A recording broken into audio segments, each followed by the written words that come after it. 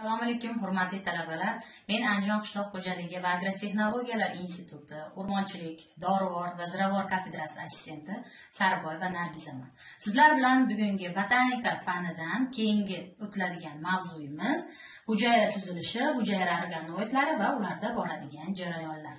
Mavzuyimizga berilgan rejalar hujayra haqida tushuncha o'simlik hujayrasini arxitektonikasi o'simlik hujayrasiga xos xususiyatlar va hujayra organoidlarining tuzilishi. Ma'lumki hujayralarni tuzilishi va funksiyasini o'rganish yo'nalishida qo'lga kiritilgan ilmiy yutuqlar eng avvalo 1500 yillarni oxirida mikroskopning kashf qilinishi bilan bevosita bog'liq hisoblanadi. Bu davrda ishlab chiqilgan dastlabki mikroskoplar obyektlarni tasvirini kattalashtirib ko'rsatish imkonini bergan bo'lsa-da, biroq tasvirning hamma qismlarini aniq ko'rsatmasligini qayd qilingan. 1600 yilga kelib anton van levengu tomonidan mikroskop konstruksiyasida foydalanuvchi qavariq linzalarni silliqlanishi va o'ziga xos konstruksiyada ishlab chiqilishi asosida mikroskopning nisbatan takomillashtirilgan yangi avlodi yaratilgan. Anton van levenbuk tomonidan o'zi yasalgan mikroskop yordamida fanga ma'lum bo'lmagan mikroorganizmlar o'rganilgan. Shuningdek 1600 yillarda robert guk tomonidan bitta linzali okulyar asosida mikroskop ishlab chiqarilgan. Mana bu robert guk mikroskopini tasvirini ko'rib turibsiz. 1665 yilda robert guk tomonidan daraxt po'stlog'i mikroskop tagida ya'ni ostida kuzatilgan va uni katakchalardan tashkil topganligi aniqlangan va bu katakchalarni cells deb nomlagan. Hurmatli talabalar o'simlik hujayrasini arxitektonikasiga keladigan bo'lsak o'simlik bir hujayrali hamda ko'p hujayrali bo'lishi mumkin. Protoplast hujayrani hujayraning ham protoplast hujayrani butun tanasini yoki tiriklik qismini tashkil qilib uning tarkibiga quyidagi barcha organoidlar kiradi. Birinchisi protoplazma yadro plastidalar xloroplastlar golchi kompleksi endoplazmatik tor hamda ribosoma sitoplazma sitoplazma va organoidlar birgalikda protoplazmani tashkil qiladi. Sitoplazma rangsiz quyuq elastik va qovushqoq bo'lib protoplazmani asosini tashkil qiladi. Sitoplazmani solishtirma og'irligi 1.025 1.055 ga teng. Sitoplazma 3 qavatdan iborat. Birinchisi plazmalemma ikkinchisi mezoplazma uchinchisi tonoplast. Plazmalemma hujayra devori ostida joylashgan. Mana hujayra devori mana protoplast. Sitoplazmani asosiy qismini mezoplazma tashkil qiladi. Tonoplast hujayra shirasini mezoplazmadan ajratib turadi. Tonoplast mana shu ko'rib turibsiz mezoplazmadan hujayra shirasini ajratib turibdi. Plazmalemma va tonoplast juda yupqa qavatli bo'lib yarim o'tkazuvchanlik xususiyatiga ega. Mezoplazmada barcha organoidlar joylashgan bo'ladi. Sitoplazmani mikroskop ostida ko'rinishi galoplazma deyiladi. Sitoplazma organoidlariga mitoxondriya ribosoma endoplazmatik tur golgi apparati ya'ni diktosoma deb yuritilgan bu birinchi golji ixtiro qilganda plastidalar hamda lizosomalar kiradi. O'simlik hujayrasida vakuola uchraydi mana vakuolani tasviri. Uni asosiy qismini tashkil qiladi. Hujayraning asosiy qismini tashkil qiladi. Unda erigan mineral va organik moddalar hamda moddalar almashinuvi natijasida hosil bo'lgan zaxira yoki chiqindi moddalar uchraydi. Protoplast tashqi tomondan sellyulozadan iborat qattiq qobiq bilan o'ralgan bo'ladi. Mana shu xususiyatlar hayvon hamda o'simlik hujayrasini asosiy farqlaridan bittasi hisoblanadi. Hujayra hujayrada hujayra shirasi bilan to'lgan yirik vakuola bo'ladi deb aytib o'tib ketdik. Sitoplazmada yupqa membrana tomoplast ajratib turadi. Vakuola hujayrada turli holat turg'or holatini saqlashda muhim ahamiyatga ega. Hujayra devori sellyulozali gemitsellyuloza ba'zan pektin ko'p hollarda esa liglin moddasidan tashkil topgan. Zamburug'larda hujayra devori xitin tarkibli bo'lsa bakteriyalarda murein moddasidan tashkil topgan. Hujayralar o'zaro plazma desmalar yordamida bog'lanib turadi. Plazma desma hujayra sitoplazmasi o'rtasida ko'prik vazifasini bajaradi. Plazmadesmalar plazma plazmalemma membranasidan hosil bo'lib ularni soni bir necha yuz mingdan tashkil qiladi. Sitoplazma va endoplazmatik redikulum hujayra devoridagi poralar orqali yon hujayralar bilan aloqa qiladi. Hurmatli talabalar o'simlik hujayrasida yana plastidalar ham mavjud. Plastidalarni birinchi bo'lib fanga 1676 yilda Levengook kiritgan uch xil plastidalar mavjud. Birinchisi leykoplastlar, ikkinchisi xromoplastlar va xloroplastlar. Rangli plastidalar tarkibida pigmentlar bo'ladi.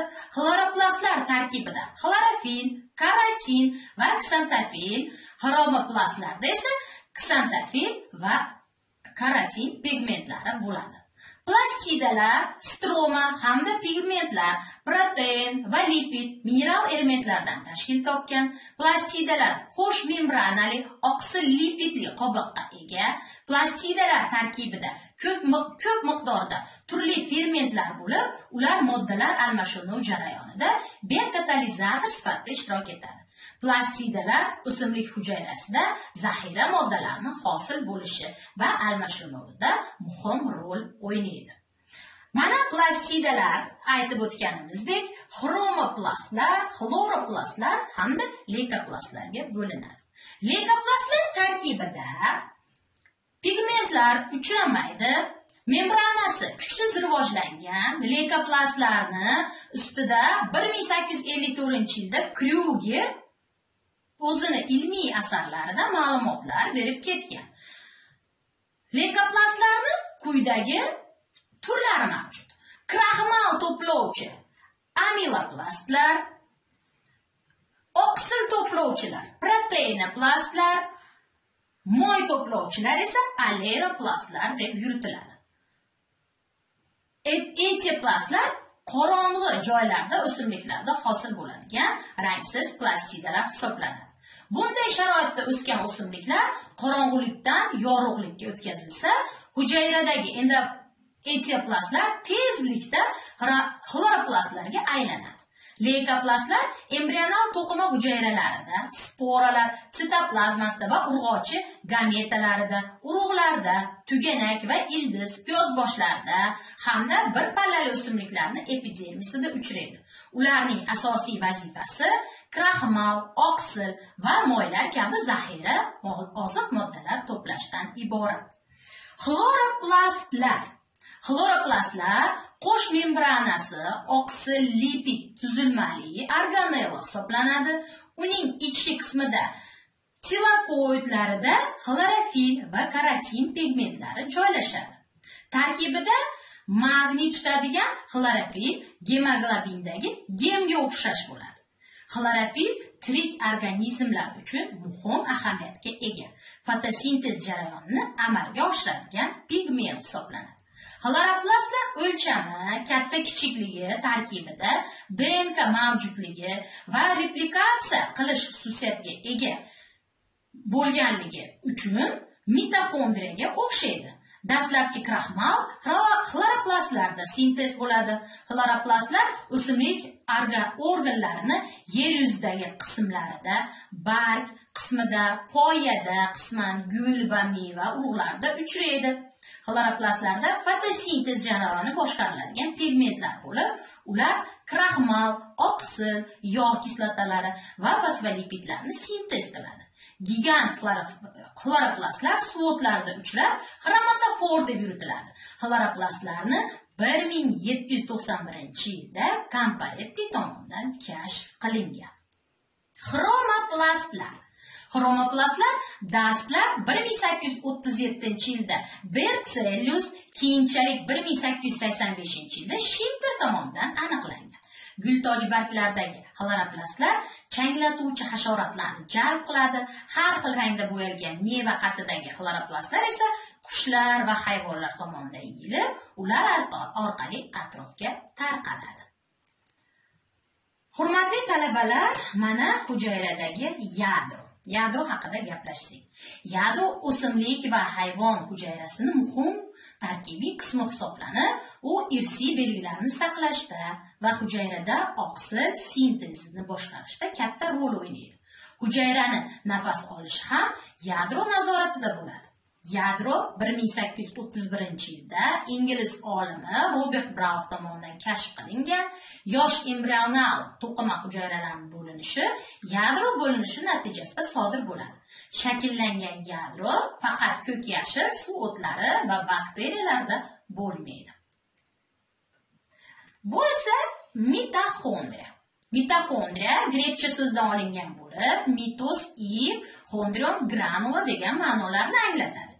ipsimon yoki granulali bo'ladi 1904 yilda mevis tomonidan kashf qilingan ular granula tayoqcha donacha va ipsimon shaklda bo'lib ularni uzunligi 7 mikrongacha bo'ladi mitoxondriya 3 qismdan iborat birinchisi tashqi membrana ikki ichki membrana turli kattalikdagi kristlar hamda ularni orasida bo'shliqlarni to'ldirib turgan gamogen modda matriksdan iborat. Hujayrada ular soni 50 tadan 5 tagacha bo'lib, kuch stansiyasi hisoblanadi. Uglevodlarni, aminokislotalarni va 3 karbon siklidagi kislotalarni parchalaydi hamda nafas olish jarayonini boshqaradi. Bu esa ribosomani tasvirini ko'rib turibsiz. Ribosoma sitoplazmada erkin holatda yoki endoplazmatik to'r, yadro tashqi membranasi tarkibida uchraydi. Ba'zan erkin ribosomalarni 5-10 birlashib, polisomalar hosil qiladi. Ribosomalar oqsil sintezini amalga oshiradi. Bu esa golji apparati. golji kompleksi hujayra sitoplazmadagi yana bir muhim organoid hisoblanadi. Uni birinchi marta 1898 yilda italiyalik sitolog golji qayd qilgan va diktosoma nomi bilan yuritgan.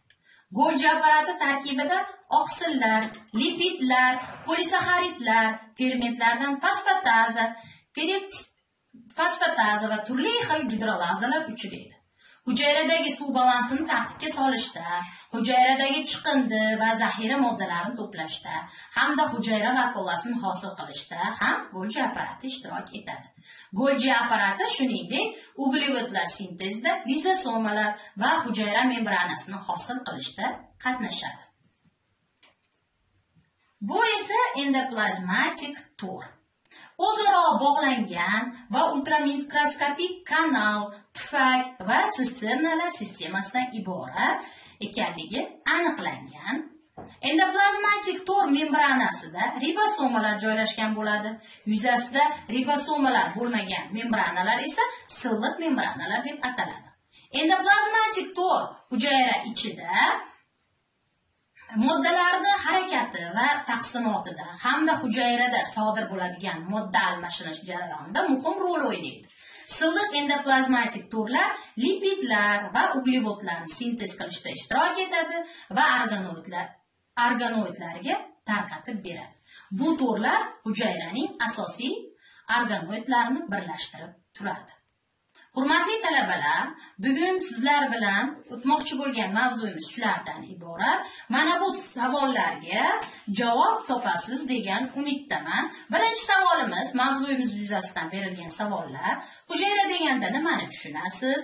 hujayra arxitektonikasi bo'yicha ma'lumotlar bering o'simlik va hayvon hujayrasini farqli jihatlari hujayrani qanday qismlariga protoplast deyiladi sitoplazma qanday qismlardan tashkil topgan plastidalarning tuzilishi turlari va o'simlik hayotdagi ahamiyati haqida sizlar ma'lumotga ega bo'lsanglar juda ham yaxshi bo'ladi. Keyingi darslarimizda ko'rishguncha xayr salomat bo'ling.